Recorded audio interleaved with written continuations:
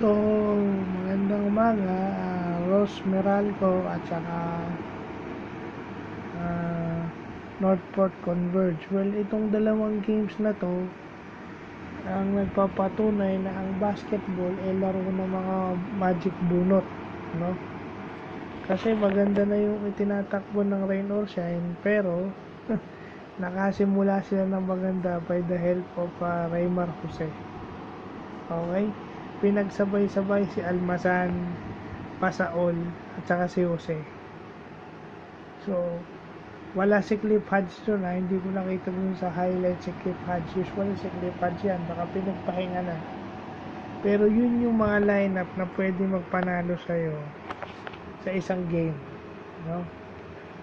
Yun yung pace ng uh, Bay Area. Kasi yung sila Raymar Jose at si uh, Pasaol is mga undersized version ng mga players ng uh, Bay Area Dragons.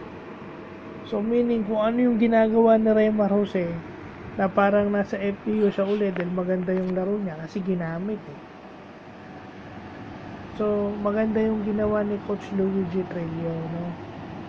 Maganda rin naman itong itinakbo ng Rain or Shine 95-103 so parang 8 points lang ang inilamang. Kasi ano eh yung puntos ni Raymar Jose yun yun. Panggulat yun yeah? magic bunot and then doon naman sa Northport Converge well talagang mahihirapan ng Converge. Pag si JM Kalma lang ang big man mo. No, hindi mo hindi mo ginamit itong si Balagasay eh wala mahirapan ka pag kulang ka sa big man. Na threat offensively and defensively. Kasi meron silang Arana eh.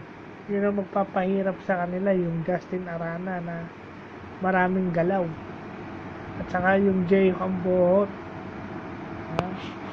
dalawang big man yun na pwede magpahirap. Sa kanila if ever makaharap din nila yung converge ulit wala namang problema sa offense sila but sa defense sila especially yung kanilang big man presence yun ang kulang sa Northport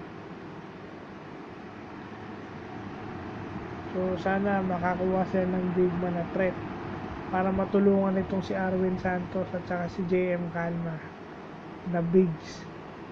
Well si Balagasay kasi is pwedeng defense but dapat offensive threat din para pahirapan sa defense itong kung sino man yung makakalaban nila. So, yun lang po.